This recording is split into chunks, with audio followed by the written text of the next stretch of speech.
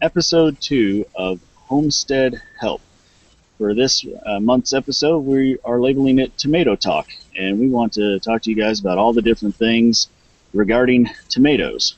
Now, in our little Homestead Help group here is Pepper Bradford, and we've kind of regarded him as our resident expert uh, extraordinaire on all things tomatoes, and so uh, just to open things up, we're going to turn the floor over to him and let him talk to us a little bit about them. Go ahead, Pepper. Thank you, Jared. Uh, welcome to you and Margie, and thanks for uh, having me here. I missed last time around for bandwidth issues. I'm sure we can all relate to that. Let me give you a little uh, update on my situation. I have a uh, what most people refer to as a greenhouse, but in actuality, it's a high tunnel. Uh, the difference between the two of them is whether or not you have heat um, that you apply from the outside or not uh, the last three or four years, I have been growing tomatoes in there for sale in my um, my local area. I just I don't, I don't go to the farmers market primarily because uh, I have a full time job during the week and Saturday's my only day to get work done. I can't spend the day at a farmers market, but um, I'll plant my tomatoes in my greenhouse. I, I'm going to refer to it as a greenhouse, even though again it's not a greenhouse. Uh, I'll start them in there. Uh, well, last year year before last, I actually planted on um, on Thanksgiving Day, and I had blooms uh, January the first, and then I had my first tomatoes coming off the vine uh, in the, the end of March. Now, since then, I have tried my best to find some more cold tolerant tomatoes. I realize that when I say cold here in Mississippi, it's a whole different level of cold than what most people are. There's a, there's a great guy, and I would recommend everyone go look at his website or his uh, YouTube channel, MHP Gardener and he's up in Virginia. Now, he has a whole different level of cold up there, but he has also some some high tunnels and some greenhouses. But um, there are two main varieties of tomatoes, and you need to grab the distinction between them. The old would call them bush tomatoes or vine tomatoes. Uh, scientifically speaking, they're called determinate or indeterminate. Now, the difference there between is when the tomato plant is growing, um, the, the, the little tiny leaves that you see I gesture a lot, but only can see my hands gesture. The little tiny leaves you see at the top, what's called the terminal. On a determinate plant, when that plant gets to a certain height, it has a terminal bud at the top, and then it stops growing. And it blooms from bottom to top. Once those tomatoes are set and then ripened, that plant's done. So the life of a, of a determinate bush tomato, the ones that you put inside the cage, not the ones that you put up on the string, those are bush tomatoes, determinate tomatoes.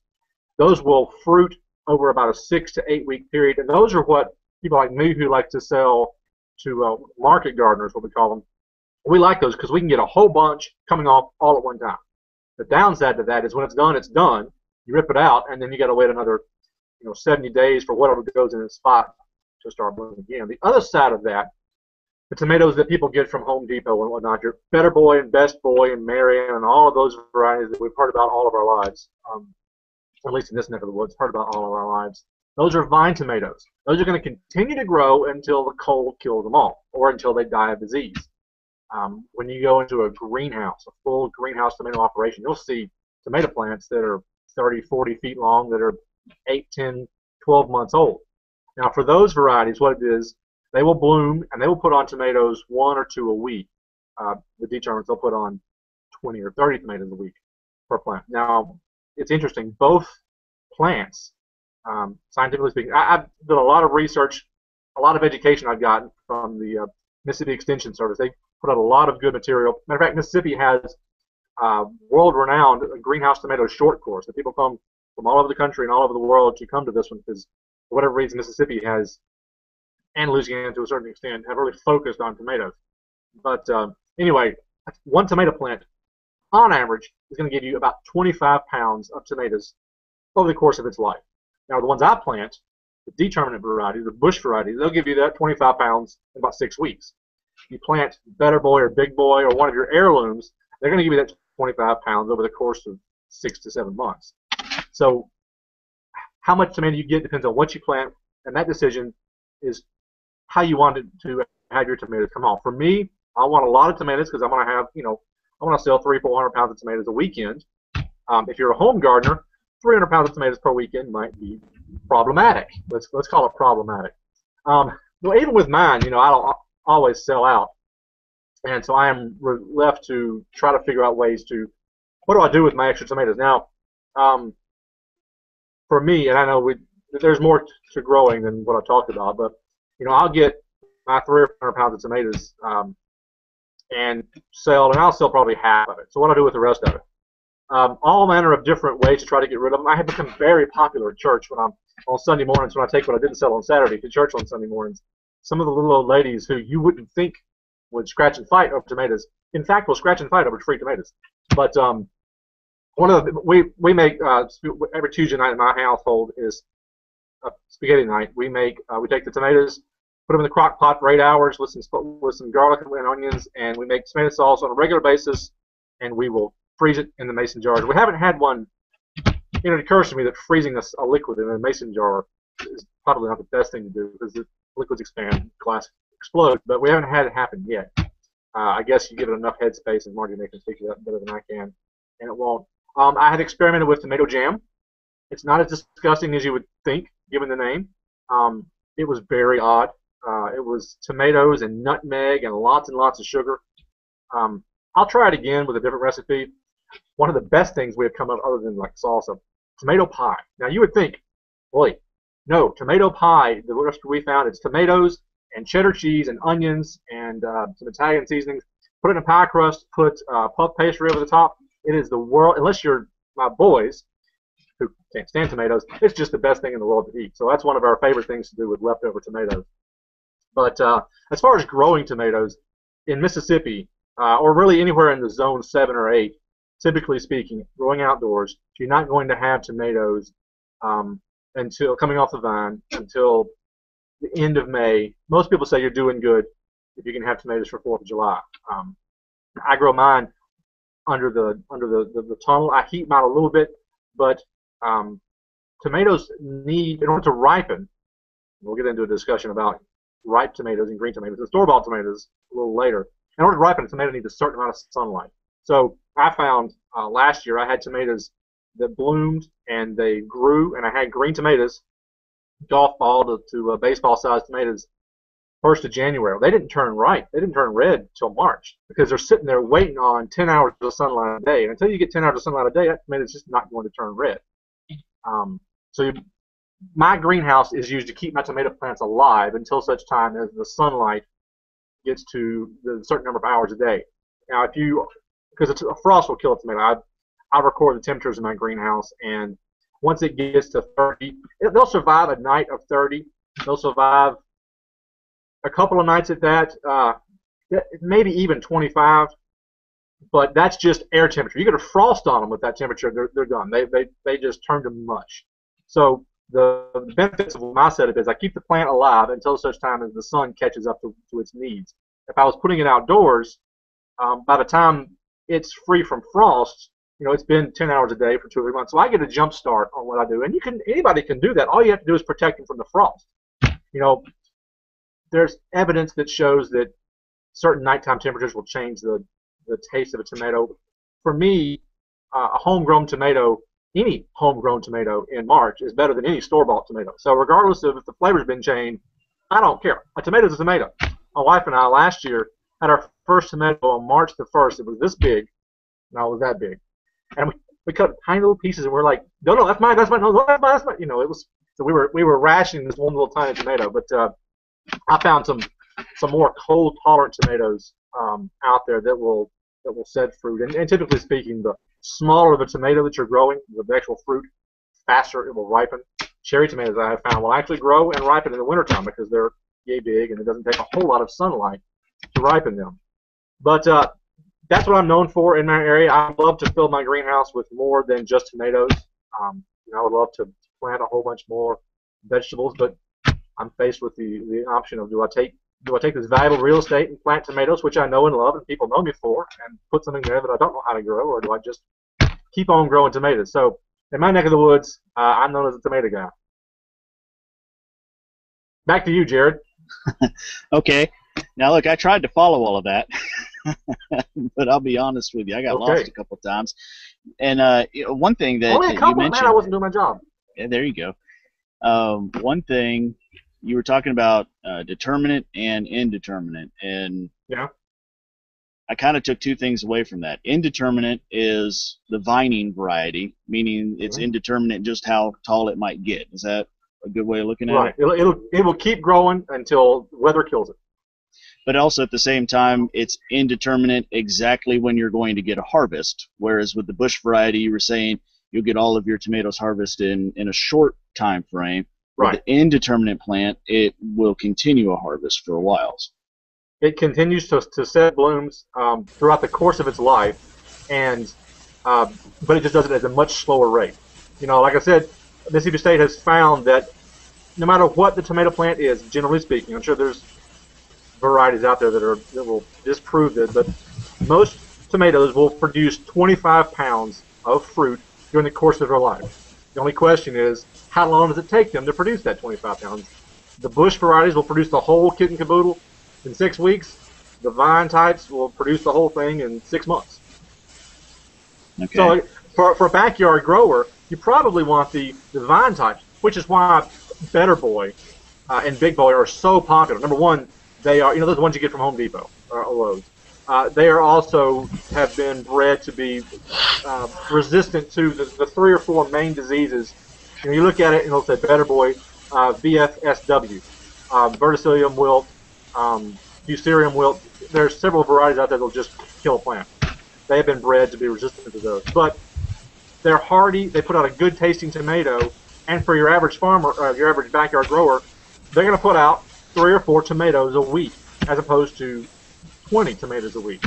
You know, unless you have a giant family, who's going to want 20 tomatoes a week? So that's why the vine type tomatoes are so popular with the backyard grower because they give them exactly what they want. A few tomatoes on the weekend, and they're good for until next week. Okay.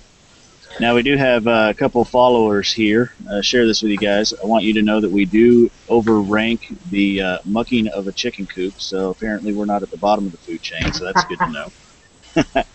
but more importantly, uh, more importantly, same user here has a question uh, for you, Pepper. Uh, would an enclosed or screened porch be enough to protect tomatoes from frost, or do they need to be in a greenhouse? Well, anything. Well, all you're trying to do from a from a um, frost protection is keep the the air around the tomato from crystallizing and forming on the on the leaves of the plant.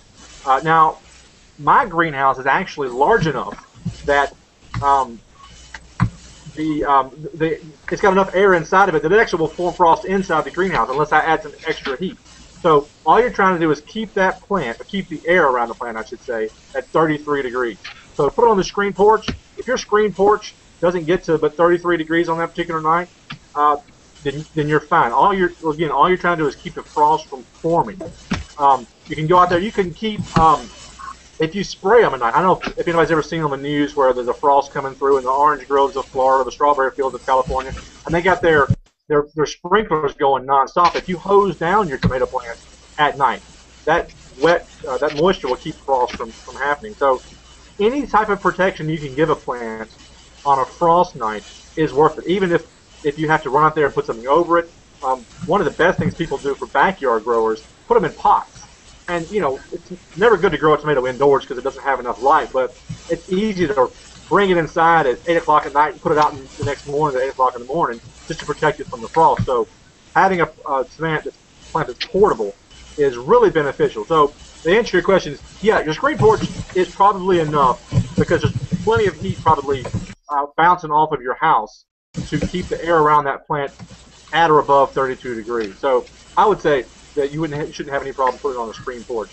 Uh, for a permanent solution, all you got to do is make sure you need have enough light. Tomatoes need lots of light. Uh, the plant can thrive in moderate light, but the fruit will not ripen without light. Okay. Uh, one other thing from that user here. If you can clarify which recipe Pepper was talking about, because the comments are actually delayed from the talking. Uh, by the time I got this Probably comment, he was. he- okay. I So- posted the one for tomato pie. I just posted a Paula Deen tomato pie on Homestead Help on Facebook. may be Facebook. where I got it from. Is that where you got it from? My wife printed it off of Food Network, so it probably was. Okay. Yes, it was Food Network. hmm Now the tomato uh, jam recipe, I just googled tomato jam and and made the first one that I found. Um, I wouldn't recommend. If you find one with lots of sugar and nutmeg, tomatoes and nutmeg, you know, you wouldn't think they would go together, and they really don't. So I wouldn't recommend that one to anybody. But if you can find a way to make tomato into jam, it's a great way to to preserve your leftovers. Now, what I had was not only do I have tomatoes left over, but I have a lot of tomatoes that don't look spectacular, and no one's going to buy them. It might have a, uh, one bug bite on it, but people aren't going to buy that one, there's nothing wrong with it. So I have I have a lot of leftovers. And tomato jam's a good something to experiment with. Um, we're probably not going to experiment with it anymore, but uh, if you're Margie and you cook all the time, maybe it's a good way to experiment with leftover tomatoes. Now, Pepper, oh, go ahead, Margie. Oh, leftover tomatoes. To me, anything, any type of produce that, um, if it has a bite in it, I just say that the bug has good taste. I mean, you know, they like the same type of thing that we like. Uh, cut it out. I mean, as long as it hasn't cr- created any problems around it, just cut the the bite out of it. Now, I know as far as selling at a produce market, people tend to want to buy the really nice looking produce unless the person that's selling it is selling it at a discount, which is what I would uh, prefer to do. This is you go go to the market, you stop by the market, you're wanting fresh produce today, then you just ask, will you have some that are the discounted, maybe have some you know bad places on it or whatever. You just cut it out and you, you eat it that same day. Um, of course, if you're going to be canning the the bites and all of that, you just cut them out because you're going to be cutting it all up anyway to be cooking it down and getting it prepared to be canned. So um, that I would just put all of that over to the side for canning. So and and of course, if you do compost, then it's always useful for compost if you're not going to use it to eat. Or I guess if you have animals that we haven't gotten our cow to eat the tomatoes yet, but we don't have goats like other people do. Chickens. Goats eat I mean, tomatoes and it's, chickens. hmm Now, Pepper, we're talking about all the different things we can do with these tomatoes and whether we want to harvest them over time or all at once. But are there also different varieties we want to choose from? If we know we're going to make a jam or we know we're going to make a pie, do we want to be selective in the actual variety as well? Yeah, yeah, you do. Um, if you most any catalog that you order, especially the, the big ones, uh, Johnny Seed, uh, Burpee, will will have their tomatoes in there broken down by type. You've got your your globe tomatoes, you've got Roma tomatoes, which are oblong, globe tomatoes, um, slicing tomatoes, the tomato that you think of, and then you've got paste tomatoes. Now those, the difference there is the the skin's a little softer, the flesh is a lot softer. You know, a, a paste tomato when it's ripe, you're going to think, well, it's maybe overripe as compared to a regular size tomato. But those are specifically designed to make paste out of. Uh, Big Mama is one of the best. It's about the size of uh, like a, a small Nerf football, and it makes it, it's it is just designed to stick in the crock pot and melt down into uh, spaghetti sauce. So uh, different varieties are, are made for different types. The, the best ones we have found from like Burpee um, are um, well we like the yellow tomatoes, and apparently, given my sales, no one else in the area likes yellow tomatoes. I love yellow tomatoes. There's one called sweet tangerine. It's just our favorite. The best thing we have found with it is cut it out and fill it with tuna fish because it's it's a sweeter tomato, doesn't have the bite. Now my mom, bless her, her favorite was the old variety called Marion, and it's one of those you take a bite out of it and your entire face just puckers up and you can't talk for 20 minutes. It's got so much acid in it. Everyone has their own opinion about how tomatoes should taste. But um, sweet tangerine was our favorite ever from Burpee because it had so many uses, and it was a great one to introduce the kids to. We thought great one to introduce kids because it was sweeter. Um, now, as far as the heirlooms are concerned, I've been trying to grow the heirlooms, and there everyone has their own favorite heirloom. The um, Virginia Sweets is one. Mr. Stripey is one. The one that's orange and, and red striped together. Um, Brandywine is the one that everyone thinks about, and Cherokee Purple. Now, Cherokee Purple all the folks in my area "Oh, it's just wonderful. It just, it's just the most. It's a great tasting tomato, but it's purple." Now, I'm an LSU fan. I love purple, but not necessarily in my tomatoes. Because you cut it open, it looks like it's been rotten for about five years. I, nothing wrong with it. Tastes great, but it's a dark tomato, and I'm used to my tomatoes not being that color. But Cherokee Purple is a very, very wonderful tasting tomato. The only problem with any of the heirlooms, but the joke around here is uh, when someone gets a cold in Oklahoma, uh, the tomatoes catch it here in Mississippi because heirloom tomatoes just catch diseases like you wouldn't believe, like they're in a, like it's a kid in a, in a daycare center. Okay. Let's see here. We now we do have some questions that were uh, stockpiled here while we were waiting between episodes, and one of them actually comes from the first uh, the first episode that we have. And uh, Tommy, we're gonna have to rely. Or uh, sorry, Tommy. Uh, I mean Pepper. We're gonna have to rely on. Uh, you have to rely on your experience on this again because uh, Tommy wasn't sure about this one on the first episode. And the question was, have you ever heard of using agricultural gypsum when planting tomatoes? And I haven't. Uh, Pepper, are you familiar with that product at all? Gypsum is is you know your your wall board, the sheetrock of gypsum. Gypsum is another form of lime. So there's nothing wrong with that. Um, you know, most people don't have access to it. Most people who would have access to it wouldn't buy it because it comes, you know, by the ton, by the acre. Um, but there's nothing wrong with it. Any form of lime, it, you know, as long as out, get your soil test, make sure you need lime because uh, tomatoes like a pH range of 5.5 to 6.5. Too much lime, and you're gonna, you know, you're gonna be pushing the pH up into the sevens and eights, and you're not gonna be able to grow a tomato anyway. So there's nothing wrong with using gypsum if you need lime or need anything to um, to raise the pH of, of your soil. So I wouldn't have a problem if I had access to it. Okay. Uh, another question we've got pending here, uh, coming off of the uh, Google Plus page, actually got asked on YouTube as well. Can you clone one or the other type better for multiple plants? I imagine we're talking about determinate versus indeterminate. They both will will um, will do the same. Now, taking suckers of your tomato plant is one of the best ways to. If you have a particular, and I'll explain suckers in just a second. If you have a particular plant, you know, you say you have one packet of seeds, you got 25 seeds in there, you plant all 25. Some of those are going to be better than others. Find your best one and then take suckers of it. Now, what, what's a sucker? You got your main stalk of a tomato plant, and you got your side stalk, and in between there, you're going to see little little uh, leaves coming out. It's called a sucker. You let it get about three or four inches long. You snap it off, or you cut it off, and you stick it in water. One of the wonderful things about a tomato plant they will form roots anywhere along the stem that it contacts any, any moisture. So find the best plant that you have, the healthiest looking plant that you have, snap the suckers off, and then put it in water, and that's going to grow a brand new plant. Take that plant, grow it, take suckers off it. You can keep the same, the one individual same plant going for years and years and years just by taking uh, cuttings off of it and, and rooting them. You know, if you have, if you live in a, in a wetter area like mine, I have before taken, you know, 30 or 40 suckers, snapped them off, stuck them in the ground next to the plant. About half of them are going to die, but half of them, without any extra effort on my part, are going to go ahead and root and turn into plants. So tomatoes are the one of the world's easiest plants to clone, to to do um, take cuttings from and, and make better plants. Now, I haven't seen any difference in uh, determinate versus indeterminate when time comes to make a uh, take a sucker off of it.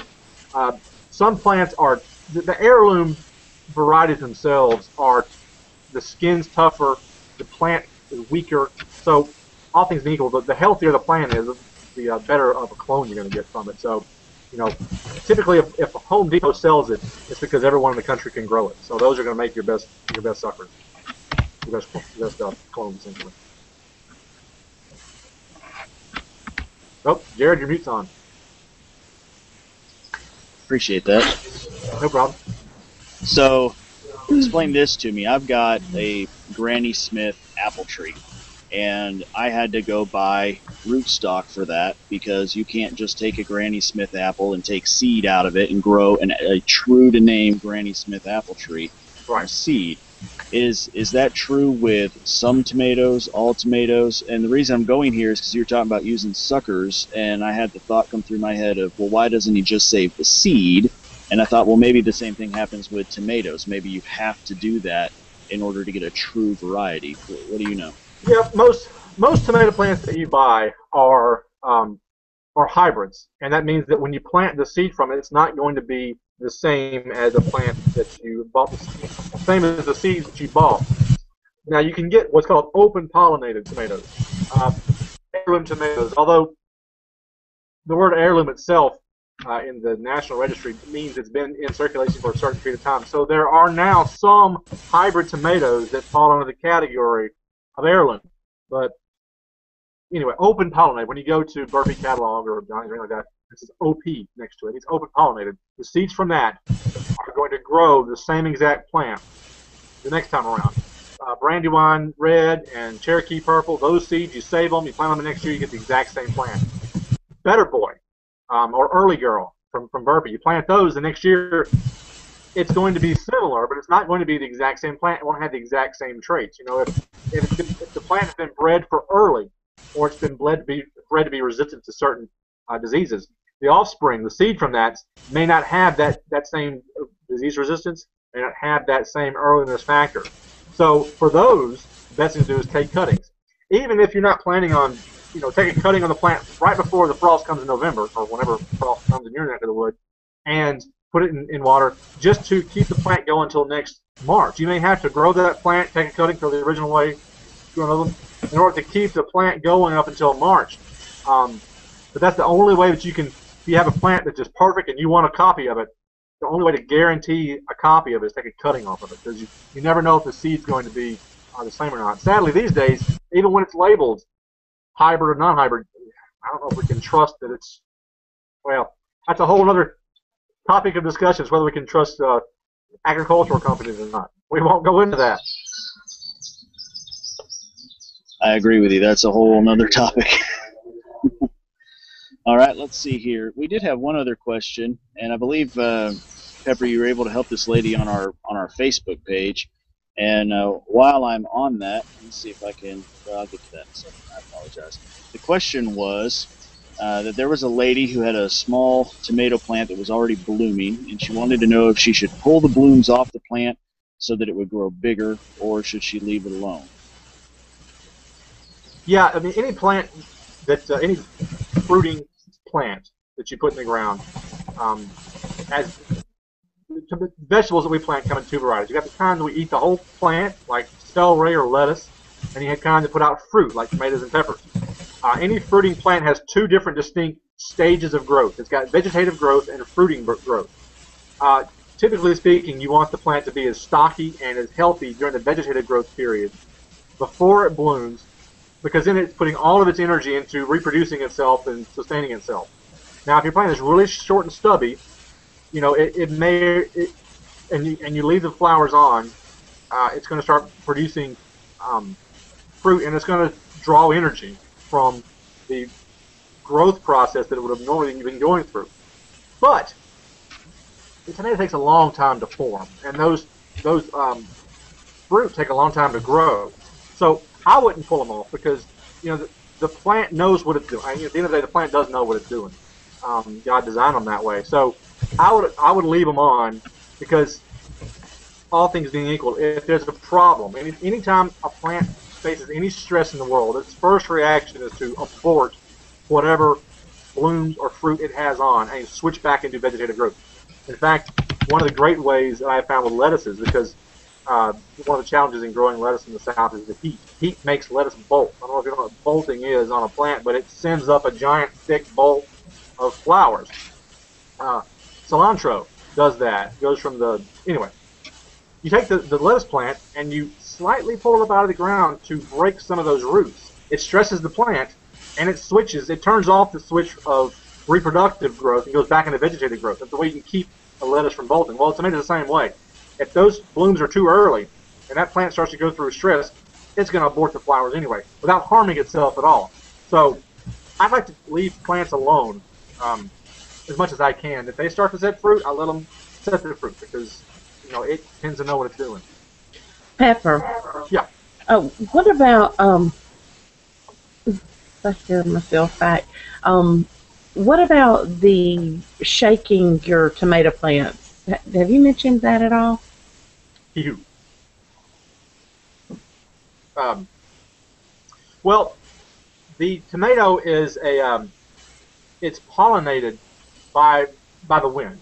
Uh, it pollinates itself. The self-pollinating uh, plant. You don't have to, unlike corn or other plants, you don't have to have a bee carry pollen from one plant to another plant to pollinate it. The pollen that the the, the the stamen or pistil, the, stamen puts out on the flower can fall directly back into the flower and um, and pollinate. So most tomatoes are pollinated by wind. The wind blows, the pollen puffs off and drops a quarter of an inch and pollinates that flower. So if you're indoors, for whatever reason, if you have it growing inside or have it growing in a greenhouse, you're going to have to agitate that flower somehow to get the pollen to, to, to, move. So um, most uh, greenhouse growers have a little vibrating wand. Most home growers will use an uh, electric toothbrush, and you touch the uh, the base of the flower, and it causes it, it shakes the flower enough to pollinate. You can use bumblebees. I use a leaf blower. Um, I just move down the road because I'm lazy like that.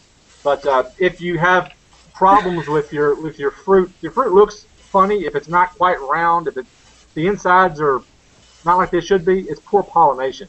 And um, if you live in an area with, without a lot of wind, or if your plants are planted up against a house, it's a windbreak, or if your plants are, uh, for whatever reason, if your plants aren't getting enough wind to pollinate them, then you might need to, all you do is walk along and take two seconds to shake the entire plant, and that's going to do it. If it's a really dry day, you can see a tiny little puff of yellow off the flowers. That right there is pollinated your, pollinated your flower. Typically, a tomato flower needs two or three days of pollination to make the tomato the way it needs to be. Okay.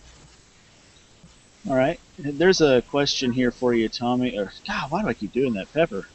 Um, you got an LSU cap on. Put gray yeah, in my beard. It's, I'm sorry. it's too much. Too much purple. I get confused. Do you have a way to keep tomatoes growing in the heat of the summer? And while you're answering this, if you could maybe explain the difference between your high tunnel and a greenhouse, because I think maybe there might be something worth pointing out there. Oh, uh, well, to answer the second question first, from the outside, everyone looks at my high tunnel and says, "Oh, it's a greenhouse," because it's a giant plastic and metal structure, is like a greenhouse. The difference is what's on the inside. A greenhouse is where it's completely climate controlled. Most greenhouses have a concrete floor. The plants are grown either in pots or in a soil-less material, uh, irrigated, and they have uh, heating and cooling systems. Um, a high tunnel is basically a giant cold frame. Everyone knows what a cold frame is. You know, you've seen those little boxes that are about a foot off the ground with glass on top. That's not all a high tunnel is. Is the, the reason, uh, the purpose of a high tunnel is for season extension. It gives you about three or four extra weeks in the beginning of the season and the end of the season um, because there's no heat in there. It's basically a giant plastic lid put on the ground. All of my plants are grown in the ground. Um, now, I try to stretch the limits of anything. I'm a man, you know. If I can, if if, if a little bit is good, then ten times much more than that is, is even better. So, I try to make my tomatoes grow uh, as much as I possibly can in the wintertime. Um, so, that's the difference between a high tunnel and a greenhouse. Is hot tunnels doesn't really have to have heat or electricity. In fact, if you get yours like I did from the NRCS program, Natural Resources Conservation Service, the government pays for yours, I did mine, um, you're not allowed to have uh, heat in there. First question.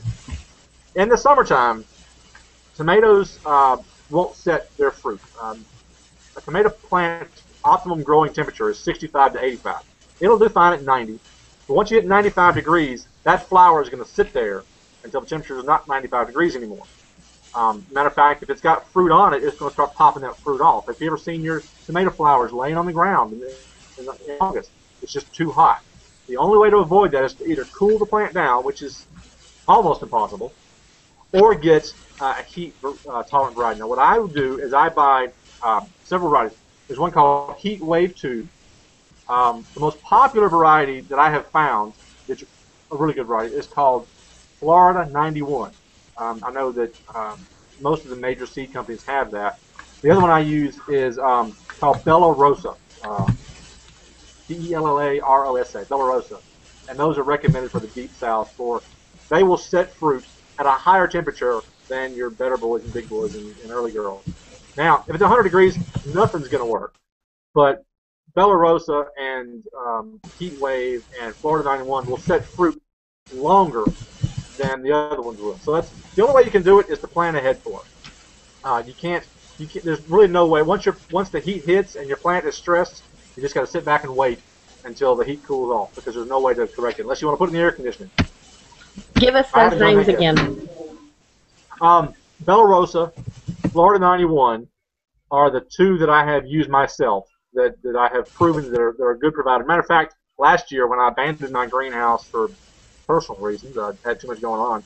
I came out there and and um, Florida 91 had grown, the fruit had rotted, and it had reseeded, and it had grown up again, all in the in the heat of the greenhouse because my greenhouse is 110 degrees in the summertime um, by itself. So Florida 91, I would highly recommend for anybody who wants one of those. I'm going to plan it, go on vacation for five months, and come back and have a tomato. He apparently will do that. So Bella Rosa, Florida 91, Heat Wave, and one more that I remember is called Sun Guard. Those four, I have either personal or uh, anecdotal evidence. Those will set and produce tomatoes more in the summertime than others. Again, everything is relative. Is there a plane flying over you right now, Jared? Maybe it's, it's one of those black helicopters that are coming, right? I mentioned the word government. I should run that. Sorry about that. Uh, you know, when you think you're on mute, you're not. When you start talking, you are. It's all those kind of fun things. So, Do you grow tomatoes, by the way, Jared? uh, I have attempted, sir. Uh, I I put in a is it is it beef steak? Is that the heirloom, the popular Yes. heirloom that uh, MHP uh, gardener Bobby does? Uh, I laid down an entire row of those and have one that is starting to have blooms on it. And there are a couple more that have started to come up down the line, but uh, far from anything that you would ever see on Bobby's channel or, or yours or probably anybody else's because I'm silly enough to actually put it on YouTube that it's not doing well. But you know, I think number one, I put it in the ground too early.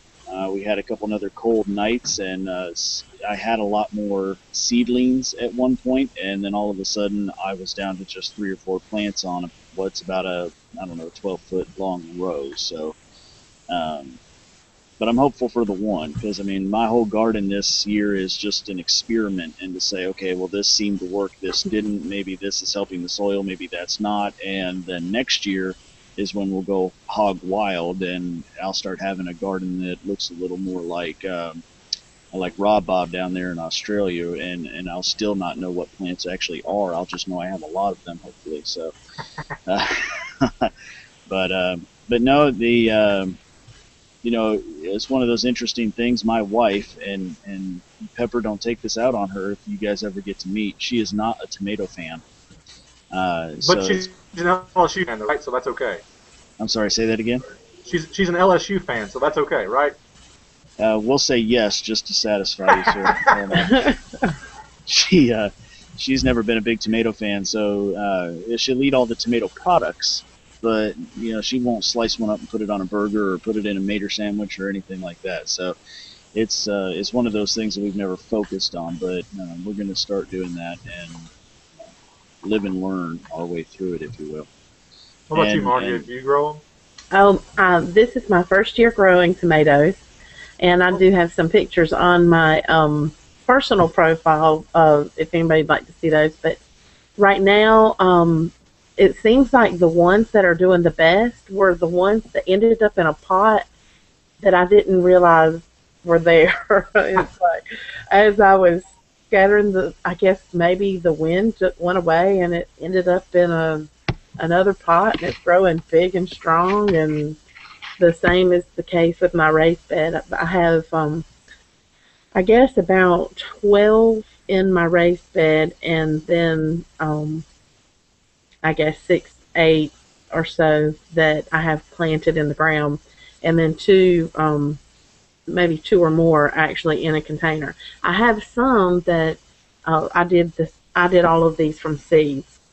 Um I did some that are still they need to be transplanted and I was going to use this and I guess I if it's time I can segue into some creative containers um to actually begin to use those because I'm running out of my space in my actual raised beds. I don't want to you know choke them out um one thing I did want to ask you before we get off of this too much I have my cucumbers planted next to my tomatoes, and the cucumber leaves are kind of covering some of those tomatoes. What do I need to do about that? Do is that okay, or is that going to get in the way? It depends on the time of year. Um, in the in the, the heat of the summer, a tomato can actually get sun scald. If you ever notice a tomato and it's got uh, yellow or white on it, it's, it's been sun scald. So in the, the heat of the summer, having some shade is good. But while the, the tomato plant is actually while the fruit is green, you want to give it as much sunlight as possible. Okay. Now, so I would I would try. Matter of fact, you, a lot of people trim their own tomato plants because sometimes the plant itself has too many leaves for the fruit. So if you got something that's big leaves like a cucumber next to it, you might want to give them some space or trim them back. Okay. You know, companion planting with tomatoes is a good idea. Um, there's a lot of things you can plant with tomatoes that will actually help out with the bugs. We planted um, we planted basil. Off, I think we don't people in Mississippi call it basil. Basil. I'm sorry. We planted basil uh, next to ours one time, and it kept the, the bugs at bay more so than the ones we didn't plant them. So a lot of times, there's a lot of plants you can put together. Now, tomatoes and cucumbers both need lots of space. Um, do you let your tomato, your cucumbers vine up behind it? Yes, this, this one is vining up, and I have a fence, um, a section of fence that I've put in there. It's vining up the fence, so it's, it's off of my tomatoes. Uh, initially, the cucumber was basically taking over my tomatoes, so I knew I wasn't going to be able to leave them like that.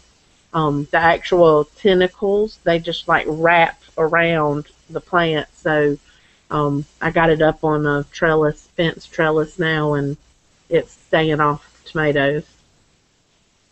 That's good. Now, what's this about creative containers? Okay, creative containers. Um, this is a as um, Jared was saying for him, this is his first uh, attempt, or uh, maybe that's not the right. He just said it was uh, a test.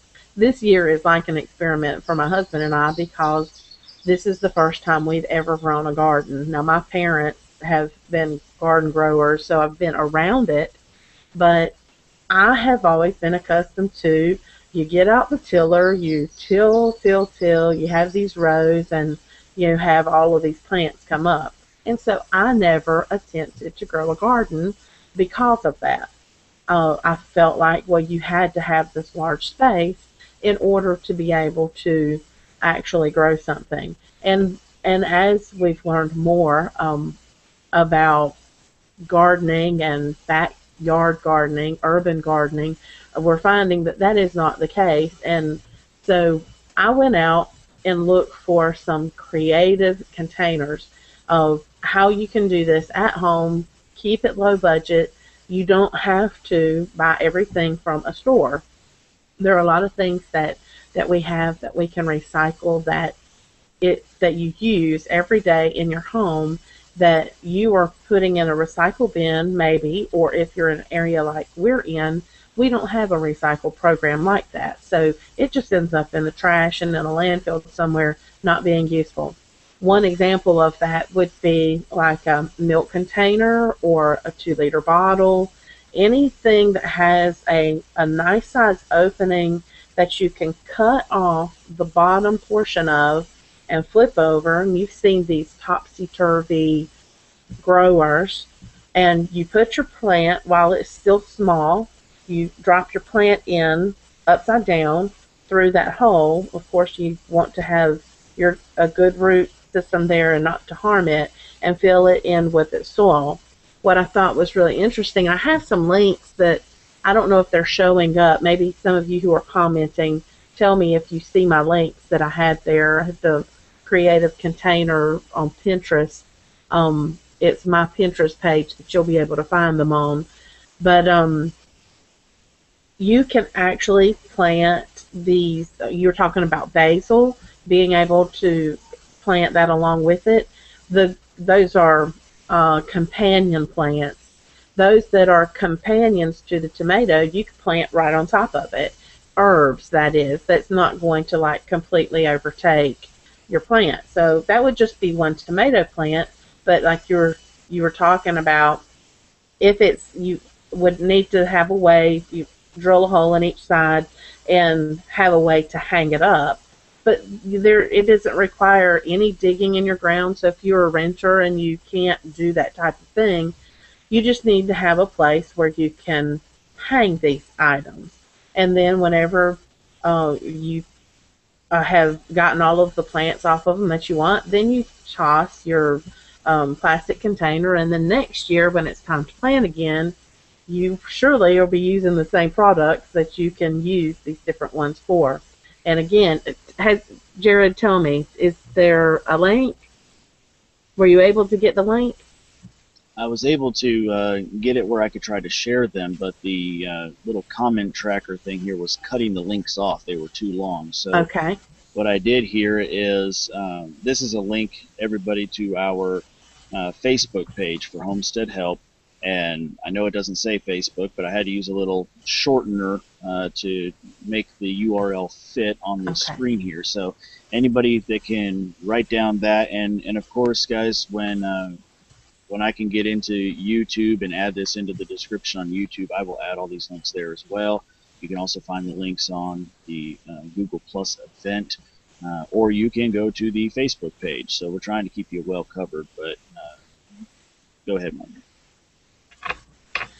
So um, something that I see here too is a do-it-yourself um, earth box, and it's the the plastic containers, like storage containers that you can get. Um, this is on Pinterest also.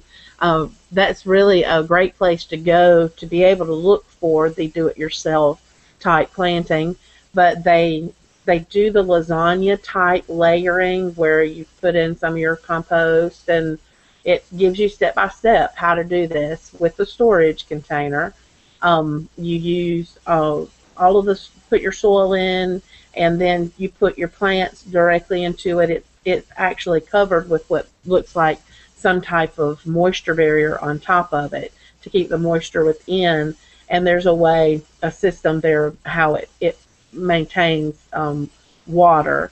So that's another uh, example of a creative container. Of course, the same with any type of regular potted plant, like a hanging potted plant. You can drill, do the hole. It needs to be large enough for your plant to drop through, but you can do that. Now, if the problem with a potted plant and planting a tomato is tomato is going to grow too tall for it for you to be able to support it. So if you turn it upside down, gravity helps you with that, and it remains straight instead of trying to become deformed and, and grow over the sides of the potted plant. That's a good Um, time to use the determinant, by the way, Okay. um, the bush bush tomatoes, because one of the things that um, with the, just when you buy a tomato in the description, it'll tell you all about it. The bush type will tell you how big it's going to grow, a 36 inch, 48 inch. And if you go to something like Burpee, like I mentioned, they will typically have the word bush next to, like, they've got early girl and bush early girl, better boy and bush better boy. And they'll have, have a description, 36 inches. So if you've got a patio and you want to do this, uh, the, the hanging method or even container method, you can find plants that are tailor made to the height that you are looking for so that it won't grow all over creation. So basically anything that will hold soil will you can grow in. You just need to be sure that you've drilled holes in it to be able to um, provide some drainage. I saw even some cute ideas that an old pair of overalls that someone had planted some plants in and that was a really cute idea but what you have to remember with that is that it is fabric will rot and it will rot quickly whenever you put uh, soil and you have all the bugs and all that are going to be growing in um, or will be inside that soil. So you have to be sure that, that you use some type of um, of the gardening fabric to go inside it um, if you wanted to have some kind of type of a cute thing like that. Um, but I see a question here. You want to go ahead with the question? Yeah, our time's kind of creeping up on us Okay. here, guys. So um, the question is, when do you start fall planting for Zone 9B? Now, I'm not familiar with where everywhere that 9B is, but I'm guessing. 9B is, is South Texas Florida. and Orlando. Uh, I didn't know they had fall down there. Goodness. Uh, but, you know, I would, October, you, tomato takes 70 days from the time you put it in the ground to the time you get, about 70 days, the time you get a, a plant. It takes about six weeks from seed to transplant. So you're looking at, uh, what's that, six, that's the 42 days. So about 100 days from the time you plant the seed to the time you get uh, fruit. So that's a rule of thumb. Three months back up from whenever you think the frost is going to kill it, and that's when you put in uh, a fall garden for tomatoes. you know, I'm a real proponent of the National Weather Service, mainly because our taxes pay for that and not the Weather Channel. And you can actually find a lot of information on the National Weather Service, such as if you're not familiar with your average frost date, uh, your first or last frost date, you can find that kind of information on National Weather Service. Yeah. So I'll look up some information for that and um, put it on our Facebook page uh, after the show's done too. So I need uh, I need I need two minutes for a rant, if you don't mind. okay, see you in a Um, minute. No, no, no, no, for a rant. That's the bathroom break. Um, about store-bought wants to tomatoes. Yeah, I want to rant about store-bought tomatoes. And people are always complaining. You know, people thought that I was growing hothouse tomatoes, uh, uh, hydroponic tomatoes. Although if you look at MHP Gardener, his hydroponic tomatoes are wonderful looking. Um, here's what a store-bought tomato is. They take a green tomato and they put uh, gas to it, and that turns it not- not gasoline. They put um, I've got argon on the brain. It's not argon. It'll come to me in ethylene, ethylene gas. Um, same thing that's produced by any ripening fruit puts out ethylene gas. They take a green tomato, they harvest it, they gas it with ethylene, and it turns it red. It doesn't ripen it; it turns it red. Why do they do this? So they can ship it cross country. Have you ever taken a tomato out of your back garden that was ready to eat that day and squeezed it? It's not going to survive the trip to your car, much less the trip to California. Right. So when you buy, no matter if it's organic, no matter how it was grown, you go to the grocery store, and just by very definition of it having been shipped to your grocery store, that tomato is not going to taste like anything because it's the ripening process that turns, that makes you wouldn't think of an acid tomato as having sugar, but it turns those those uh, starches into sugars. In fact, you take a tomato that's wonderful, you stick it in the refrigerator, and those sugars turn back into starch, and it turns tasteless again. But every tomato that you've got in the grocery store that's that's shipped in is picked green and then turned red. Again, it's not ripened at all. It's turned red by ethylene gas. As a matter of fact, here's an experiment. Take a green tomato, stick it in a paper sack with a banana. Two days later, you'll have a store-bought tomato. It tastes like nothing, but it's red and it's beautiful and it's hard as all get out, and it will survive being put in a, on the back of a truck over 25,000 miles. So when people compare mine to, you know, mine don't look like store-bought, mine mine don't taste like store-bought either. There's no way in the world that you could you can ship good ripened tomatoes. It just won't happen. I would encourage anybody to go out on YouTube and look for type in the words Jimmy Doherty. Uh, he's a he's a farmer from from Britain. Uh, D O H E R T Y. Um, look up his global harvesting. He's got a he goes and visits tomato farm in California. They have a giant machine that harvests all the tomatoes at one time, and there's this um, chain conveyor belt that takes it from the ground up to his hopper, and the chain actually rips all the leaves off the plant. They don't pick the fruit; they chop the plants down, and as it's going up the, the, this chain, the chain is ripping the leaves and the stalks off, and by the time it gets to the top, all that's left is the fruit. My thing is, if the fruit can survive the trip up a chain when the leaves can't, that fruit can't be worth anything. So anyway, you go to the grocery store, no matter what the tomato looks like, it is a green tomato. They're all green tomatoes that have been turned red. So thus ends my rant. So buy Okay. local. buy local. Right, that's the best advice we could probably give is buy local. Now, look, um, I don't want to forget this before we get short on time, so I do want to mention uh, in our first episode, Pepper was unable to join us uh, due to some technical things, and now today, Tommy is unable to join us due to some professional obligations. So he does want us to know, go Tigers. Um, and I just I wouldn't feel right if I didn't share that with you guys. So That's right. Tommy, be safe out there. Drive safe, and we'll catch you on the next episode. Um, but one last thing I want to cover is we, we've kind of gone almost the full spectrum here, guys. We've talked about uh, the planting all the way to harvesting and, and eating them. But now, how do we reconnect those uh, the ends of that circle together? So, uh, Pepper, Margie, either one of you, are you going to look to save any of your seeds? Are you going to look to do the saplings, or is it easier for you to just uh, start over with uh, some new purchased seed uh, in the next season? I would love if, if my tomatoes turned out really well for me. I would love to continue using my seeds because I would know what to expect the next season. I just don't know much about saving seeds. Pepper, what can you tell us about that? again, you can only save seed um, confidently from open pollinators. If you're growing um, Brandywine Red or if you're growing Cherokee Purple, by all means, save the seed. It'll save you some money.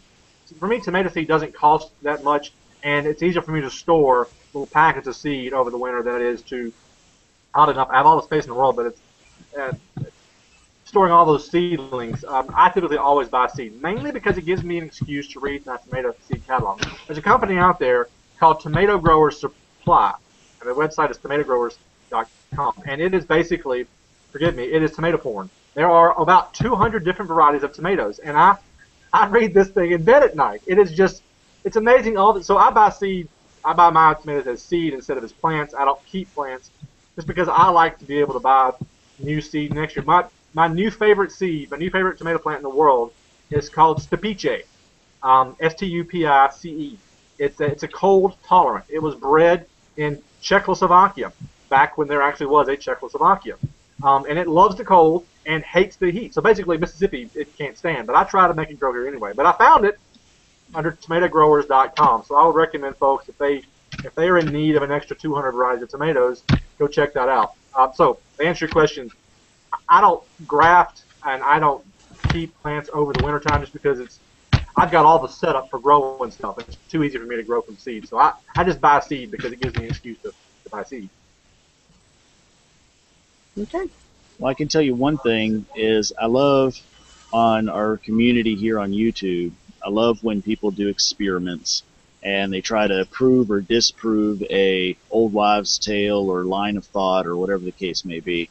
And I don't know if that's really what he was trying to do, but uh, on the topic of saving seeds and specifically tomatoes, uh, Rob Bob uh, had one here recently where he took tomatoes and he took the seeds right out of the tomato and put them right into soil.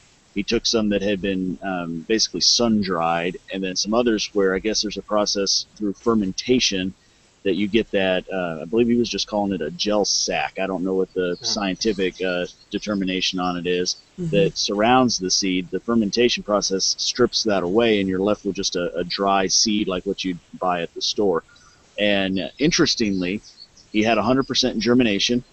Uh, he did find that the seeds that had gone through the fermentation process uh, sprouted quicker and were looking healthier than the other ones, but all of them produced plants. So apparently, uh, you know, uh, Pepper, you were kind of talking about this earlier, and, and I've always liked this uh, kind of phrase here, but the plant wants to grow. All Yeah. we got to do is kind of get out of the way.